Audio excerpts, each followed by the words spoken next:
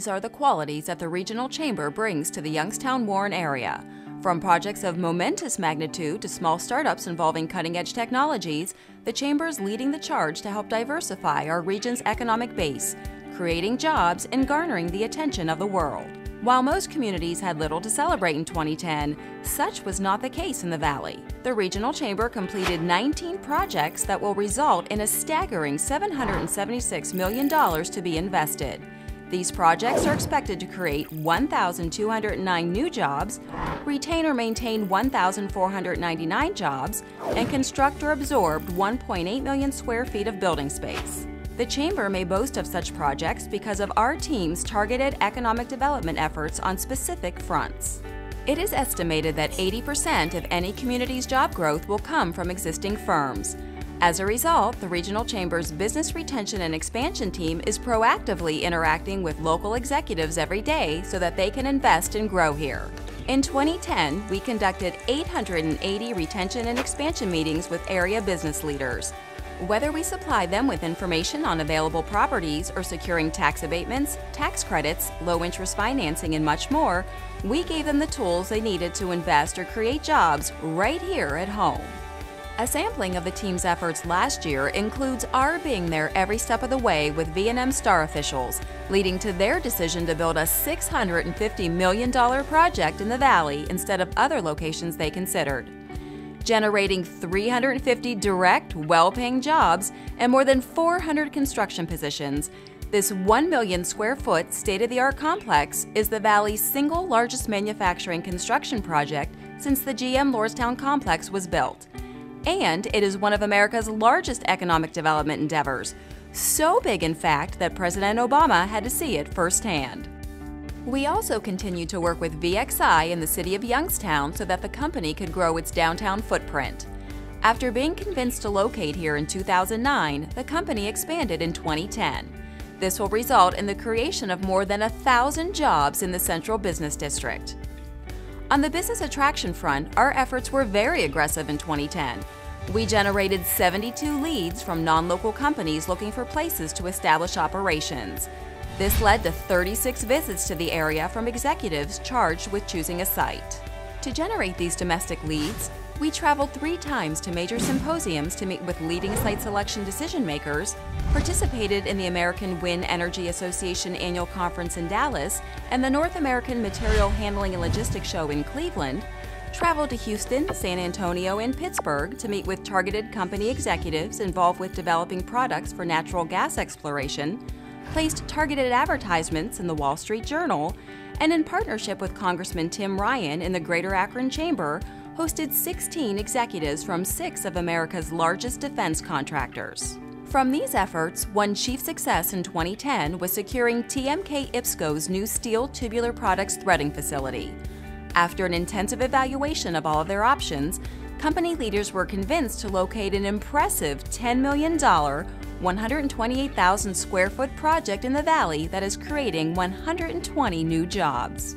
Another success was Revere Data, the San Francisco based tech company decided to locate a new research center here instead of growing its footprint in India. Their move to Youngstown created knowledge based economy jobs in the newly renovated Semple building. The Chamber is also helping startup businesses take flight through our Regional Entrepreneurial Assistance Channel program. Our REACH team counseled 120 clients, launching five new firms. Benefits from past year's chamber projects continue to be spotlighted in 2010, too.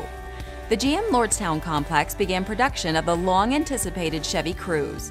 This new product is receiving high praise by industry experts, and the ripple effect of three shifts at GM in supplier production is adding significant fuel to our local economy. Construction is also nearing completion on Patriot Special Metals' new plant.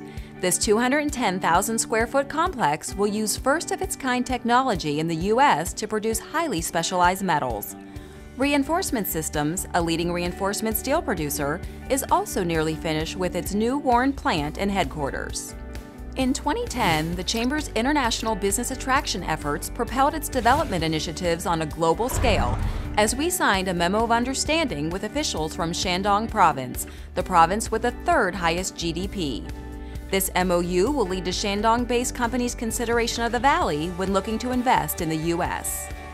The Chamber hosted one of Asia's largest wind turbine manufacturers, which is looking at U.S. locations for future expansion, plus hosted one of Asia's largest LED light manufacturers, which too is scouting the U.S. for expansion sites.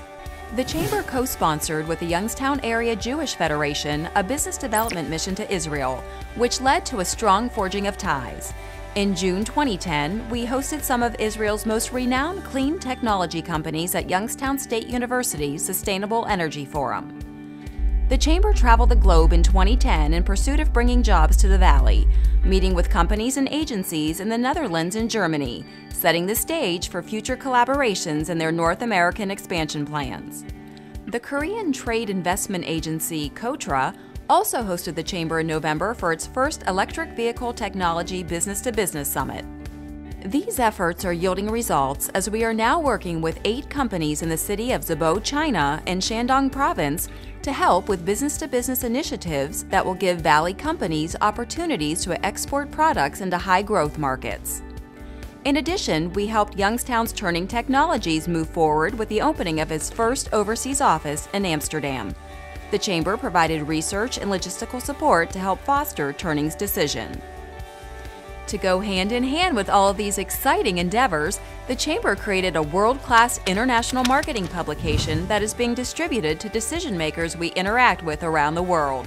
The book features stories on some of our Valley's most successful businesses and equally showcases our beloved quality of life. And finally, the Chamber is working to establish a World Trade Center in Youngstown, a proposed 56,000 square foot office tower that we envision as the anchor for international companies locating in the Mahoning Valley.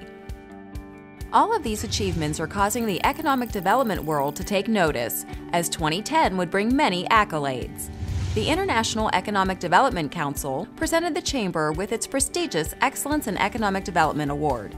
This major honor was presented to the Chamber for our efforts in helping to secure V&M Star's expansion. We were also recognized by Team NEO as a finalist for the Business Attraction Project of the Year Award.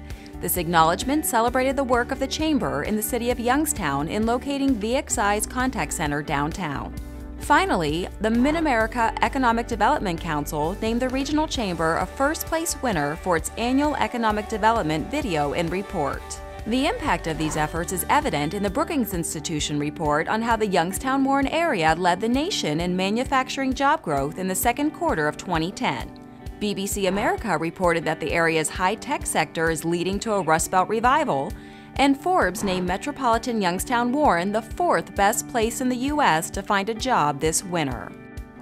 As we move into the next decade, the Regional Chamber will work tirelessly to enhance the Valley's economic fortunes by leveraging our advanced metals and materials expertise and utilizing our proximity to natural gas exploration in the Marcellus Shale field.